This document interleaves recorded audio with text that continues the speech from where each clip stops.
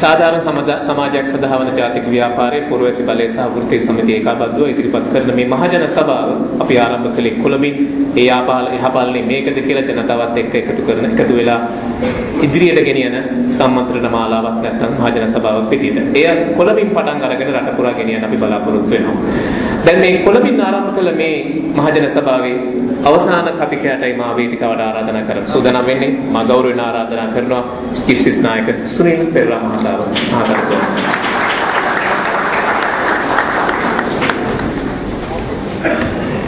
කොස්ටි සභාවට අවසර මේ ගොඩක් අය මම හිතන්නේ ගොඩක් දේවල් කියලා තියෙනවා මම කියන්නේ විශේෂ දෙයක් නෙවෙයි නමුත් තමුන්නාන්සලාට මම යමක් කියන්න ඕන කාලය ඇවිල්ලා තියෙන්නේ පොඩ්ඩක් හොයලා බලන්න. අපි කවුරුද කියලා? අපි මොන වගේද? අපේ හැඩේ මොකක්ද? අපේ පාට මොකක්ද? සංසන්දනය කරලා බලන්න වෙන රටවල ඉන්න උදවියත් එක්ක අපි කොයි වගේද කියලා. අපි කොයි වගේද කියලා බලපුවම අපිට පැහැදිලි වුන් පේනවා. අපි තනිකර පොර තක්කඩි මකඩි ඒ ගති ගුණ තියෙන තාමත් වනචාරී මිනිස්සු කියලා. කයිවාරු දිනුව මහස උසට ඒ කයිවාරු ගහන්නේ අපි මේ දැන් කරපු ඉතිහාසයේ කතා ඉතිහාසයේ මාර කතා. ඒ අපේ රජගොල්ලෝ කරපු දේවල් ඒ වගේ උදම් මනාන ඉන්නවා. තාම අපිට සිස්ටම් එකක් හදාගන්න බැහැ මේ පුරවැසි බලය ආවේ මේ ජීවන වේදේ මරවා මේ ඔක්කොම වල වැඩි යම් කිසි ක්‍රමවේදයක් සිස්ටම් එකක් හදාගන්න. දැන් බලන්න ඇමරිකාවේ ඔබාමා තව මාස කිහිපයකින් එයා අයින් වෙලා යනවා. එයාගේ කතාව කීදී එයා කියනවා හරියටම ලංකාවට කතා කරුවා කියලා මට හිතුනේ. එයා කියනවා යම් කිසි නායකයෙක් හිතනවා නම් එයා නැතුව ඒ නායකයා තමා නැතුව රට අඳුරේ කියලා. ඒ නායකයා මෝඩ නායකයෙක්. දුර්වල නායකයෙක්. යම් කිසි නායකයෙක් හිතනවා නම් එයාට සදාකාලිකව ව්‍යවස්ථා වෙනස් කරගෙන මේක ඉන්න පුළුවන් කියලා මොකද එයා තමයි සුදුසු කියලා ඒ මෝඩ නායකයෙක්. ඒතකොට ව්‍යවස්ථා වෙනස් කරගෙන හරි කොහොම හරි මෙතන ඉන්න දඟලන්නේ ඒ බලයෙන් මත්තු නොදුවිය. දැන් මට මේ දවස්වල ගොඩක් පුදුරිය මගේ ඥාති පිරිස් යාළුවෝ අර කොකා වෙන්නනවා කියන්නේ නිකන් කින්ඩිය දානවා. උඹලාගේ මොකද උනේ උඹලාගේ යහපාලනයට ඔක්කොම මොකක්වත් උන්නේ ඒක යනවා ඉතින් උඹලාට මොකද බොක් කිව්වනේ බං ඕක හරියන්නේ නැහැ එහෙම තමයි අපි උත්සාහ කරනවා දොරට ගහනවා දොර ඇරෙනකන් හැබැයි පංගක් පුදිය බලාපොරොත්තු වෙන හිටියා මේ ජනවාරි 8 වෙනිදාන් පස්සේ නිකන් මේ මధు සමයේ ගිය ගමන් මාස 9 බබා හම්බෙයි එහෙම බබා හම්බෙන්නේ නැහැ මధు සමයේ ගිහිල්ලා දෙන්න නිකන් මුදියගෙන හිටියනම් එහෙම බබා හම්බෙන්නේ එතන වැඩක් කරන්න ඕන. මේ වැඩ කරන්නේ මෙතන අපිට තේරුණා වැඩ කරගෙන යනවා. මේගොල්ලන්ගේ වැඩ කරන ක්‍රමය හරිනේ මේ පස්සේ අපි දොස්තර මහත්තයෙක් එක්කන් ගියා. දැන් මේ පුරුෂ බලයේ දොස්තර මහත්තයා ඔක්කොම ලැගිල්ලකෝ මෙන්න මේ මේ බෙහෙත් ගන්න ඕන. පුරුෂ ශක්තිය වැඩි වෙන්න ඕන. නේද බෙහෙත් ගන්න ඕන. ඒ වුණාට මේගොල්ලෝ බෙහෙත් ගන්න. නැහැ මේ බෙහෙත් බෙහෙත් ගන්න දෙක මොකද බබා අපි ඒ වුණාට තාම උත්සාහ කරනවා. මේ බබා කොහොම හරි හම්බෙන්න ඕන. එහෙම හරිය නැත්නම් බෙහෙත් නල බබෙක් හරි හදන්න ඕන. ඉතින් ඒක නම් තමුන්නාසලා අතරෙත් මෙතන ඉන්න උදවියට මම මේ කියන්නේ යම් කිසි දුරට වගකීමකින් කටයුතු කරන්න විශේෂයෙන්ම මාධ්‍ය වේදිකින්ට මම මේ කියන්නේ පංගොක් වෙලාවට ටෙලිෆෝන් එකේ කතා කරලා ඉන්ටර්විව් එකක් ගන්නවා. කොහොමද මොකද හිතෙන්නේ? දැන් ඔයාට මොකද හිතෙන්නේ? මම කිව්වා නෑ මෙතන ගොඩක් වැරදි තියෙනවා. මේක හරි නෑ මේ ඊට පස්සේ පත්තරේ දාන්න කොහොමද සුනිල් අයියා කියයි. ගන්නම දෙයක් නෑ මෙයාට ගන්නම දෙයක් නෑ මේක මුං එනෝල දාන්න. ඒ එහෙම දාන්න එපා. මේක හරි නෑ තමයි. හැබැයි හිටපු එක කොහොමවත් හරි නෑ. ඒක අපි මේ මේ උත්සාහ කරනවා. යම් කිසි උත්සාහයක් කරනවා. ඒ තමුන්නාන්සලා අතරෙත් තමු වෙන්න පුළුවන්. මේක නිකන් hina වෙන්න බලාගෙන තමුන්නාන්සලා දැන් ඉන්නවත් දන්නේ අපි කියන්නේ නමුත් අපි මේක සටන් කරනවා උත්සාහ කරනවා. මගේ නෝනක් කියන්නේ අනිසුයි ලෝයෙන් නවතින්න දැන් බොරු වැඩක්. ඒක නිකන් වටන කරදරයක්. කරදරයක් වෙන්න පුළුවන්. කරදරයක් වෙනයි කියලා මේකට නොයා ඉන්න පුළුවන් නේ. කරදරයක් උන වෙන්න පුළුවන් කියලා ඉතින් මෙතන ඉන්න ඔක්කොම කට්ටිය ඔව් මේ බොරු වැඩක් මේ හරියන්නේ නැහැ. ලංකාවේ මොම තමයි. වගකීමක් ඇති. යම්කිසි විනයක් ඇති දේශපාලන පසුබිමක් සැදීමටයි මේ උදවිය ඉදිරියට ආවේ. මේ ළඟදී ළඟදී කියන්නේ මාස 8කට වගේ වෙදී ඕස්ට්‍රේලියාවේ ප්‍රාන්තයක හිටපු වගේ ප්‍රාන්තවලත් ඉන්නවනේ මේ මේ ලෝකෝ. ඉතින් මේ ප්‍රාන්තෙක අකමැති කෙනෙක් ඉල්ලා අස්සුණා මොකද මාධ්‍යයෙන් ප්‍රශ්න කෙරුවා කොහොම වයින් බෝතලේ වාර පිටරට සංචාරයක් ගිහිල්ලා කියලා පිටරට නිලංග ඕස්ට්‍රේලියාවට දීපු වයින් බෝතලේ කෝ මෙයාගායි වයින් බෝතලේ ගෑනිත් එක බීලා දුවද මට ඉතින් ඒ වයින් බෝතලේ අයිති රජයට දැන් ඒ වයින් බෝතලේ ගැන අහුවයි කියලා මිනිහා ඉල්ලාසු වයින් බෝතලේ අපේ වයින් බැරල් ගිරවත් කොහෙන්ද ඔය වයින් කියලා අහුවා අස්සනවා වයින්කොට ඒ ඒක තමයි කියන්නේ ඒ යම්කිසි හැදියාවක් තියෙන මිනිස්සු. දැන් අපි පිටරට බොහෝ දිනු රටවල් වල කෝච්චියක් හැප්පුණත් ඇමති ඒ බාර වින්න ඇමතිතුමා හෝ മന്ത്രിතුමා හෝ කිල්ලාස් වෙනවා. අපේ උන් කියන්නේ මන්නේ කෝච්චිය ලෙව්වා. දෙයයිලාස් වෙන්නේ. ඉතින් මෙවැනි සමාජ ක්‍රමය අපි අනුමත කරන්නේ නැහැ. අපි අනුමත කරන්නේ නැහැ. අපිට කිසි දෙයක් මේක බලාපොරොත්තු වෙන්නේ මෙතනට ආවේ. නමුත් තමුන්නාන්සලා දන්නවා මේ ඉන්න පිරිස දඬුවම් කරනවා කියලා තමයි මෙතනට ආවේ. දඬුවම් කරන්නේ උන්ට දඬුවම් කරන්නේ මේ පැත්තට දාන්නේ. ඉතින් ඒ දේ දැන් මෙතන උදවිය බොහොම සරල කතා කරනවා ඊට විරුද්ධව. අපි ඇති කිරීමට උත්සාහ කරන්නේ යම්කිසි යහපාලනය ඔස්සේ පිවිතුරු පිරිසිදු මිනිස්සු කොටාසය. මේ කොටාසය ඇති වෙන්නේ නැත්තේ යම් කිසි මේ දේශපාලනයන්ගේ විතරක් නෙමෙයි. තමුන්නාන්සලා අතර තමුන්නාන්සලා හොයලා බලන්න මට මට හිතෙන හැටි. ඒ මගේම හැඟීම හැටියට මට හිතෙන හැටියට මේ රටවල් බොහෝ දුරට පොඩි කාලේ නම් අපි දැන් වසර ගණනාවක් තිස්සේ ඇති කරපු දෙයක් තමයි ආගම කියන එක බොහෝම ප්‍රබලයි. ආගම තමයි නොම්බර 1. කතෝලිකයොත් එහෙමයි බෞද්ධයොත් එහෙමයි. කතෝලික කට්ටිය දෙවියන් වහන්සේට මාර බයයි. දෙවියන් වහන්සේට ඔක්කොම කරන්නේ මිනිස්සුන්ට විරෝධයක් කරන්නේ නැහැ. බුදුන් වහන්සේට තමයි හැමදේම කරන්නේ මිනිස්සුන්ට කිසි දෙයක් කරන්නේ නැහැ. නමුත් යම් කිසි දෙයක් පිට රටවල මා දැක්නේ දෙයක් තමයි. ඉතින් යම් කිසි දෙයකින් මිනිහාට කරදරයි නේද? ඔයා බලන්න දැනටමත් පාරවල් වල තියෙන පංගුවත්යන් වල මහා පාර මැද්දේ මිනිස්සුන්ට ට්‍රැෆික් වලට හරි කරදරයි. ඒ වුණාට මේ භෝග හැතරෙන් අයින් කරනවා. නෑ. ආවෝ ඒක සුදීක. දැන් සිංගප්පූරුවේ කොහොමද?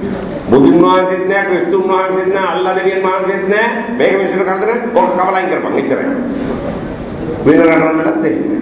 මේ 60 හුටා මාරට තියෙනවා බුදු පිළිම 60 හුටා මාරට තියෙනවා සුරුවක් මීගොම පැත්තේ ගියෝ මෝරුවෙන් තර කුරුසියක් තිබුණ තේලා අර එතන දැන් බලන්නේ පාර හැදෙන්නේ කුරුසිය අයින් කරන්න දෙන්නේ නැහැ මිනිස්සු මිනිස්සු දෙකම මගේ උත් ඇවිල්ලා නේද මචං ඒ බක්කෝ මචං බලව මචං මුම් මචං අපි මේ කුරුසි අනේ මේ කුරුසිය අයින් කරන්න ගියපො නැත්නම් උඹ හැප්පිලා මැරෙනවා උතන දැන් තියෙන විදියට හරි අමාරුයි ඉතින් මිනිස්සුන්ට යන්නේ ට්‍රැෆික් වැඩි නමුත් මිනිස්සු පුරුදු කරලා තින්නේ විදියට හැම දෙයකටම ගේනවා ආගම ඈඳගෙන එනවා ක්‍රිකට් ගහන්න යන ළමයි ක්‍රිකට් ගහන්න ගියත් කරුණාගෙන් යනකොටම පිරිත් නූල් බැඳලා අරම මේ බලෙන් මේ ඔක්කොම දේවල් කරලා තියෙනවා පිරිත් නූල් ඔක්කොම බැඳන් කියලා අම්බානක කාලා පැටදිලා එනවා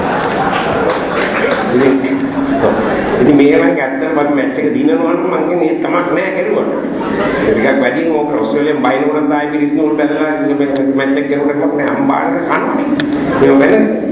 ඉතින් ඉතින් මේ මිනිස්සුන්ට තමුන්නාසලා අතරෙත් ඉන්නවා. මෙතනත් ඇති සමහර විට මේ පොඩි දෙයක් මේ දේ කරන්න ගියාම මේක මහා උද්ඝෝෂණයක් කරන තමුන්නාසලා සමහර විට මං කියන්නේ මෙතන හැමෝම කියලා නමුත් ඇති එක්කෙනෙක් දෙන්නේ. ඒ අපෝ බෑ මිනිස්සු අපි අපි අපේ ඉතිහාසයේ ඉඳන් එන මේ ක්‍රම සම්ප්‍රදාය ඒවා වෙනස් කරන්න දෙන්නේ බෑ.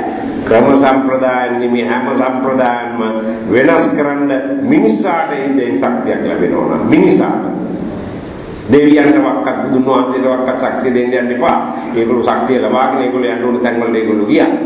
දැන් අපිට මේ ය아가න්න බැරුව ඉන්නේ. නේද? මේ රටවල් වල පුරුදු කරලා තින්නෙත් එහෙමයි. අර දකුණේ පන්සලකට එක්තරා ප්‍රබල ඇමතිවරයෙක් බොහොම ලස්සනට සල්ලි හම්බ කරපු ඇමතිවරයෙක් හොඳට පන්සලට ආධාර කෙරුවා. ඒ පන්සල ලස්සනට හැදුවා හැබැයි. බොහොම ලස්සනට. ඒ ඕපනින් එකේදී ස්වාමින් වහන්සේ කියනවා මේ කරපු පින් කන්දරාවට මෙතුමාට නිවන් දකින්න මේ ඇතිලු. මාත් බැලුවේ අපෝ මෙහෙම සල්ලි ටිකක් දුන්න පන්සලෙන් දුන්නා නම් ඉස්මන්ට නිවන් දැක ගත්තා මේ මේතන ඉන්න ඕනේ මේක මම ජංජාල මේක. ඉතින් මේ කියන්නේ බුදුන් වහන්සේ කිව්වා වගේ කියන නිවන් දකින්න ඒක සල්ලි දිනනවා නම් නිවන් දකින්න පුළුවන්. ඒ විදිහ කතාවක් මේ කියන්නේ. ඉතින් ඒ හැම දෙයක්ම ආගම ඉඳන් මේ පන්සලේ ඉඳන් කොච්චර මේක මේ අපි පුරුදු කරුවේ මෙහෙමයි මෙහෙමයි කිව්වට ඒ තැන ඉඳන් පිළිහිලා හොඳටම පිළිහිලා ඒ ආගම් වැඩියෙන් ඇති වෙන්නේ ආගමට ලැබිකම් වැඩියෙන් ඇති වෙන්නේ හොර තක්කඩියෝ ඉන්න රටවල් වල. හොර තක්කඩියෝ මගඩිකාරයෝ ඒ ඔක්කොම ඉන්නේ ආගම් ඒවා වැඩි. දැන් ඕස්ට්‍රේලියාවේ ආගමක් පල්ලි වල සෙනග ඇත්තෙම නැහැ. ඔය තියෙනකොට තියෙනවා. නමුත් බලන්න බංග්ලාදේශ වල කොහොමද බලන්න. අම්මෝ අල්ලා දෙවියන් මේ මේ ගාන මිනිස්සු මරනවා මේ මාතේ මේ නාමයෙන් තමයි ඔක්කොම මරන්නේ ඔක්කොම කරන්නේ. එතකොට ඉන්දියාවල ඒ තාතන් හැබැයි කො රට කොහෙද? එතනමයි. එතන අරගොල්ලෝ කිසි දෙයක් නැහැ වෙලාවක් බලන්නේ මේව දෙයක් නැහැ. කරන්න ඕනේ දේ කෙරුවා. ඉතින් මේ දේවල් තමුනාසල අදවත් කල්පනා කරලා බලන්න. අපේ සංස්කෘතිය තියෙනවා. සංස්කෘතිය තියෙනවා කියන්නේ මේ පැරණි මති මතාන්තර මේවල එල්ලිලා එල්බගෙන මේ දේවල් යම්කිසි රටට මිනිස්සුන්ට ශක්තියක් ලැබෙනවා නම් මං කියන්නේ මාධ්‍ය මගින් හෝ. මාධ්‍යත් ඒවට ගිහින් පන්දන් ඔව් මේක අපෝ විශ්ව මේක මේක ඉන්දස් මේ මේ මේ පන්සිය පොර්තුගීස් කාපු කාලේ ඉඳන් මේ තියෙන එකක් මේක මේගොල්ලෝ. ඉතින් තමුන්නාන්සලාගේ අතිනුපේ වැරදි සිද්ධ වෙලා ඇති. නමුත් තමුන්නාන්සලා ඉදිරියේදී හරි අපි ඔක්කොම ලැබුවා අපි මේ බලන්නේ යම් කිසි ක්‍රමවේදයක් අපේ රටට ඇති කරලීමට. ඒ ඇති කරලීමට අපි මේ දඟලන උත්සාහය අපි දඟලනවා. මේ දේ ඇති වෙනකම්. හැබැයි දැනටත් අර කවුද කිව්වා වගේ මේ අපේ කතිකෝ කීප දෙනෙක්ම කිව්වා. යම් කිසි දේවල් වෙලා තියෙනවා. වෙලා නැත්තේ නෑ. වෙලා තියෙනවා. හැබැයි මේ යන මාර්ගය හරිනේ නෑ. ඉතින් අපිට ඕනේ මේගොල්ලෝ මේ යන මාර්ග සිග්නල් දාලා ආය යාළු පාරට ගන්න. දැන් යන්නේ මේ බයිලේන් වල යනවා. ඉතින් ගිහිල්ලා අපි දන්නේ මේගොල්ලෝ නැති වෙනවා. ඊට ඒක නිසා අපි හදන්න යම් කිසි හොඳ ක්‍රමවේදයක් අපේ රටට හැමෝටම තමුනාන්සලාගේ ඉදිරිය සුබවාදී වෙන්න අපි හැමෝගෙම දරුවන්ට මෙතන ජීවත් වෙන්නට සුදුසු වාතාවරණයක් සැකසෙන්න මේ යන රජයට කියන්න. අපිට අඩු ගානේ අද ශක්තියක් තියෙනවා කියන්න. ඉස්සරහම කියන්න බෑ. කිව්වොත් ඉවරයි. වැඩේ දෙල් මොන විදිහට හිතයි දන්නේ මොන තමයි නැති වෙන්නත් පුළුවන්. ඉතින් එවැනි දේවල් තියෙනවා. නමුත් අර කිව්වා වගේ මේ ඉන්න ජනාධිපතිතුමා බොහෝම බය වෙනවා. අගමැතිතුමා බය වෙනවා. ඒ බය තමයි කොන්දක් නැති නිසා. තම ගත්ත පියවර ගන්නවන එක පයි නෑ අධිකරණයෙන් මෙහෙම තීන්දුවක් දීලා දිනවා. මේ මම නෙමෙයි මේ තීන්දුව දීලා දෙන අධිකරණේ අදිනට මම එගලි ගහන්නේ මේක ක්‍රියාත්මක වෙන්න ඕනේ. එහෙම කරන්නේ නැතිකම. මට තාම මතකයි අපේ තාත්තත් එක්ක මම මොකද්ද සම්ඩුවක් වෙලා ගෙදර. හැබැයි දවසලත් එහෙම තමයි. මොකක්ද ඒකට මම අනිත් සහෝදරයන් ඉච්චර සම්ඩු කරන්නේ නැහැ. ඉතින් මම තමයි තාත්තත් එක්ක හැම දෙයකම සම්ඩු කරන්නේ. ඊය සම්ඩු කරුවෙත් පොඩි ප්‍රශ්නයකට ඒ පොඩි ප්‍රශ්නයකට 77 එක්සත් ජාතික පන්තියේ පත් වෙලාවට පස්සේ ලලිත් ඇතුළත් මුදලි මහත්තයා ජිප්සීස්ලාව ගෙනියනවා. තාත්තා දෙක කෝල් එකේ දාන්න තාත්තට පුතා මේක ඉම්පෝටන්ට් එකක් මේ කකුසිය ඕපන් කරන්න ඕන ජිප්සීස් කින් ගන්නවා. අර කකුසිය ඕපන් කරනවා අතන ගිහලා තව මාකට් එකක් ඕපන් කරනවා. ඉතින් මේ හැම සතක් පහක්වත් දෙන්නේ නැහැ මගේ තිබුණු තරහව ඇවිල්ලා සත්ත පහක්වත් මුන් දෙන්නේ මට සල්ලි ඔක අවශ්‍යතාවයක් නැහැ. තාත්තලා කොහොමද සල්ලි ගන්නෙ? අරගෙන අපිට දෙන්නේ. නමුත් මම දන්නේ මේක මල ඉවරයක් වෙන්නේ නැති මම මුලක් මේ හැමදාම අතන සෙල්ලම් කරනවා මෙතන සෙල්ලම් කරනවා. තාත්තා උඹලට තේරෙන්නේ නැහැ. ඉතින් ගිහිල්ලා ෂෝ එකට ගියන් පස්සේ තාත්තා ඉතින් අර පල්ලෙයා අර මන්ත්‍රී ගොල්ලෝ මේගොල්ලෝ කෝල් ඉන්නවා. ටික කතාවක් කරනවා අපි එක සින්දුවක් නැත්තම් දෙකක් කියනවා. ඉතින් තාත්තා හැමදාම අර කඩේ සුමි පොඩ්ඩක් ඉන්නවා. කියන්කෝ ඉන්නවා කියන්කෝ මම ඉන්න කට්ටියත් එක්ක පොඩ්ඩක් ඉන්නවා මට ඉන්නවා වෙන්න හිත දෙන්නේ නැහැ මොකද මම දන්නේ මම මොකද සත පහක් දෙන්නේ නැහැ කියලා දියා ඒ තරහ තියෙනවා ඒකින්ද ඉන්නවා වෙන්නේ ඉන්නවා දැන් තාත්තේ ජායියට කියනවා මම ඉතින් පොඩි දුනිට කියපම් පොඩ්ඩක් ඉන්නවා ඉන්නවා කියලා කියපම් නිකන් බොම්මකට වගේ ඉන්නේ ඔව් දැන් ඒ උනාට දැන් කියලා ඇවිල්ලා කතාවක් දැන් ගල් කිස්සේ ඔය සුපර් මාකට් ඕපන් කරනකොට ඔන්න ආයි වාරක් අපේ තාත්තට ෆෝන් කරලා කිව්වා ජිප්සීස් ගන්න ඕන දෙල්ලම් කරනවා සුපර් මාකට් එක ඕපන් කරනවා තාත්තා හැබැයි මට කලින් කිව්වද hina වෙන්න නැති ප්‍රශ්නයක් තියෙනවනේ මගේ. ඉතින් තාත්තා කිව්වා මෙහෙම මෙහෙමයි අපි කට්ටේට අයියලා මල්ලිලා බෑනේ. ඔන්න උඹලට ඔන්න මෙදාපාර හොඳට ගෙවනවා. නෑ ඒගොල්ලෝ මේ කළා කිව්වා මේක හැමදාම කරන්න බෑ. මලට ඔන්න හොඳට ගෙවනවා. මේ හැම මේක සාමාන්‍ය ජෝකටත් වැඩි මුලට මේකට මම දැන් සල්ලි දෙනවා. මේකල ඉතින් අපි ගිහිල්ලා ඉතින් ටිකක් ඔය දාන්න නාගෙන හිටියපො. ඉතින් ගිහිල්ලා සෙල්ලම් කළා හැම. ඒකට ඊට පස්සේ කවුද හැබැයි ඉතින් ෂෝ එකෙන් මේ සංවිධායකවරයෙක් ඇවිල්ලා කිව්වා සුනිල් අර රිසීට් එකක් තියෙනවා ඇවිල්ලා අසං කළා. මට ගොස් සල්ලි ගන්න කියලා. තාත්තට ඔබ පළේ පොල් කියලා ගනි ගනි ගනි සල්ලි ගෙන අසං ගිහිල්ලා අසං කළා ගනි කියලා. මම ගිහිල්ලා අසං කළා ඉතින් සල්ලි ටික ගත්තා. එදා ටිකක් සන්තෝෂයි. ඊට පස්සේ ගෙදර ඇවිල්ලා ඔක්කොම කරලා දවස් දෙකකට විතර පස්සේ මම දැනගත්තා සල්ලි දීලා තින්නේ අපේ තාත්තමයි. උන්දීම සල්ලියක් නැහැ. අපේ තාත්තම සල්ලි දීලා තියෙන කාටද මේ අපේ පුතාට දෙන්න රිසිට් එකක් අස්සම් කරගන්න. මොකද නැත්නම් අපේ පුතා තරහෙන් එන්නේ ෂෝ එකට. ඊට පස්සේ පස්සේ ඊට පස්සේ ඒ තාත්තත් එක්ක මම මොකද සම්දු කරනවා තාත්තයි මොකද්ද කතන්දරයේදී අර මේ ලොකු ළමයි කසාද බැඳලා නැහැ මම කියන 24 25 කාලේ. ගෙදර මේ මහාන එකපාර මේකයි මම කියන නායකයෙක්ගේ මම මොකද්ද? තාත්තත් එක්ක මම හරියට ආගිල් කරනවා හැම දෙයක් ගැනම දැන් ආගිල් කරනවා. මොකද්ද හේතුවකට බහපන් එළියට බෑදහයි දැන් බහපන් එළියට මම කිව්වෙන එක ලොකවට උන්නේ දැන් තනියම කරගන්න පුළුවන්. ඒකට මේ බෑදහයි එළියට හොම්බයි වලකලේ ඉදායන් පස්සේ මම දෙයක් හම්බු තාත්තත් එක්ක සම්ඩු කරනවා නේද පුගත් රෑවට සම්ඩු කරනවා නේද මේ අදහම කොහේ කියන බයි අම්මඩත් තාපයි. ඉතින් අර ඒ අපි තාත්තා එහෙමයි තනි දැඩි අපි බොහොම බයයි. නෝ ඒ කාලේ හැටි. කෙසේ වෙතත් මා දකින්නේ මේ නායකයෝ බොහොම දුර්වලයි. ඉතින් මේගොල්ලන්ට අපි ෂෂ්ඨ දීලා හරි මයිලෝ දීලා හරි මොනවා හරි දීලා පොඩ්ඩක් ශක්තිමත් කරලා ගන්න තමයි මේ කට්ටිය සියලු දෙනා රැස් වෙලා සිටින්නේ.